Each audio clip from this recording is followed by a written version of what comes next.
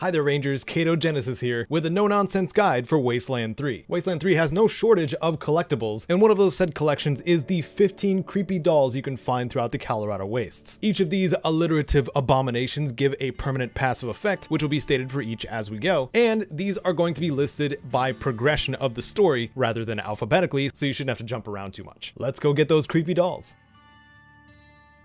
First up is Radical Rachel, and this one is found in Ranger HQ and can be obtained shortly after the tutorial at the dam, as well as the exposition drop by the Patriarch. Radical Rachel can be found before or after the base is refurbished and is in the room just south of the War Room, which eventually gets turned into a museum. Radical Rachel is found in a container on the northwestern corner. The boost Rachel provides is an explosive damage bonus across the board by 5%.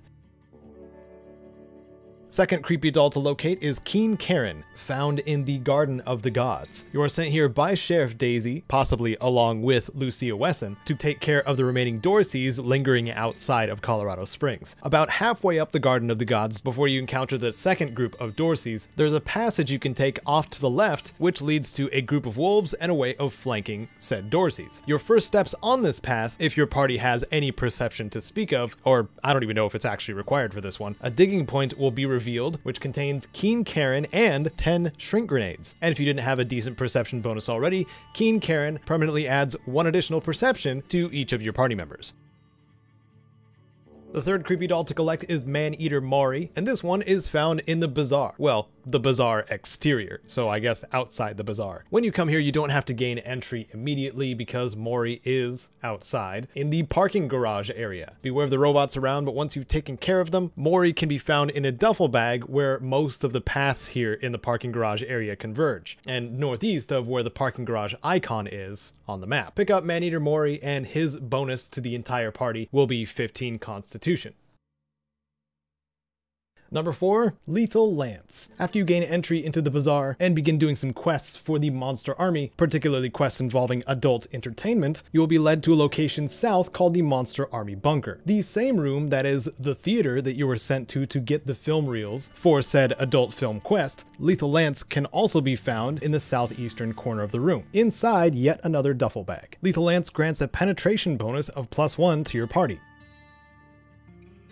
Next up, Bing Fred. Sometime after you've done deeds at the bazaar and head back towards the Colorado Springs area, you'll be contacted by Dead Red and shown the location of the old survivalist's bunker in Broadmoor Heights. This is still in Colorado Springs. So once you have access to the old survivalist bunker, all the way towards the back northeastern side is the makeshift hospital. There is a locked room in here, and once you've gained access via lockpicking or simply breaking the door down, the trunk straight ahead will contain Bing Fred. Fred provides bonus damage by 5% versus humans.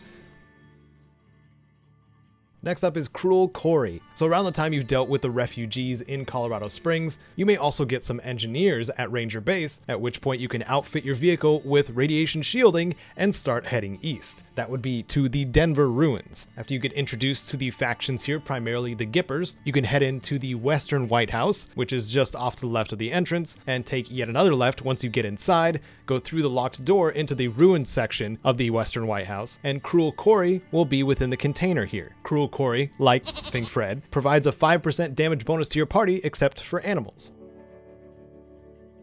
Before leaving the Denver ruins, we also have Electric Emmett to find. Traveling east of the Denver ruins will lead you to the Machine Commune, and all the experiences one can have in such a place. On the eastern side of the Denver airport, when you take the door to the outside just before the catwalks, off to the left will be an area covered in storage containers. Electric Emmett will be buried right in front of the barrels. If you're unable to detect this buried loot, you may need to come back with a higher perception, but this is where Electric Emmett is, and Emmett's bonus is an energy damage boost by 5% for your party.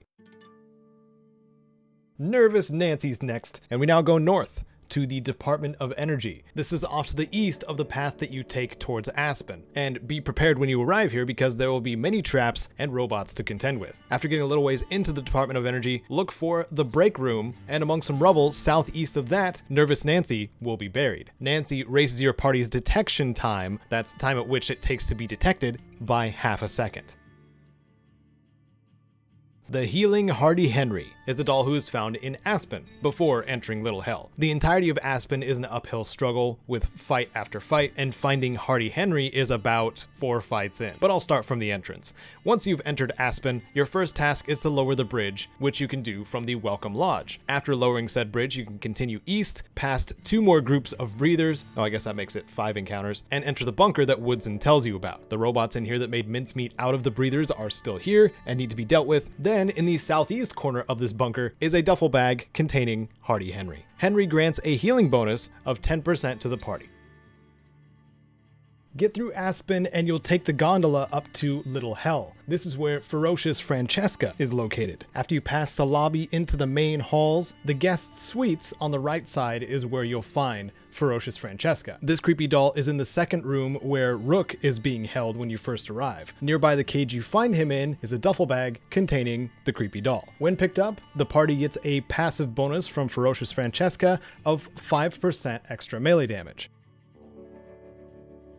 Zen Zoey is found southwest a ways from Aspen, but still within the Rockies, tucked away in the snowed-in resort. After you arrive here in the eastern outdoor section, where you may fight some Razorbacks and Dorseys, there will be a fresh dirt pile you can dig up to find Zen Zoey. The permanent bonus this one grants is a hit chance improvement of 2% for everyone.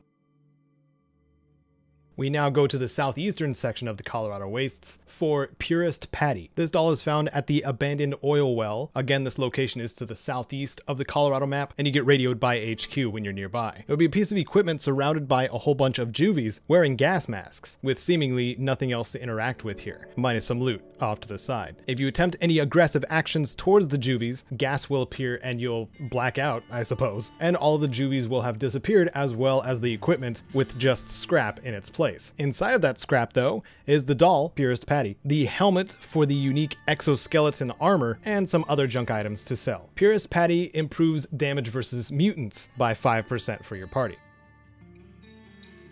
Next up is Quick Quaid at the Knox Bison Ranch. This one appears to be just obtainable after you go to Aspen and save Mr. Knox outside of Little Hell, after which the location of the Knox Bison Ranch will reveal itself to you, and it'll be not far southwest of the abandoned oil well. This is another one zone location, so you won't have to explore too much to find the creepy doll. It is located in the northwestern corner on a corpse near the gravesite. After obtaining Quick Quaid, the party's sneak attack damage will increase by 5%.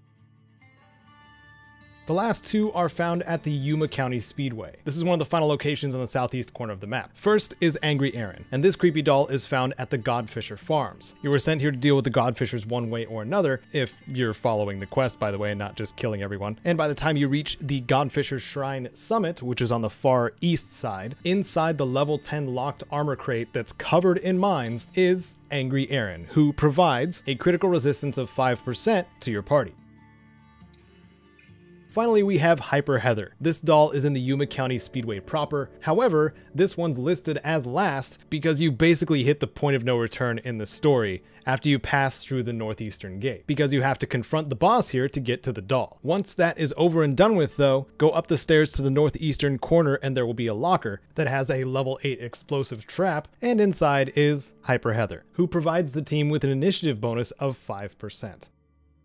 Looking for more Wasteland 3 collectibles? I did no nonsense guides for other things in Wasteland 3 as well, including the Golden Toaster for the Toaster Expert achievement. You can find those here, and if you found this guide useful, entertaining, or both, please do whatever it is you see fit to show that. And one of the best ways you can do that is by supporting via Patreon at patreon.com slash Genesis. Those in the on-screen credits are part of my patrons and supporters, and they help keep my channel going, as well as receive a few perks here and there, like a private Discord chat with me, monthly updates that feature my face, and and other junk. Anyway, thank you so much for watching. Thank you to Wasteland Legends Fen. I'm Caedo Genesis, and may you wander the wasteland like you own it.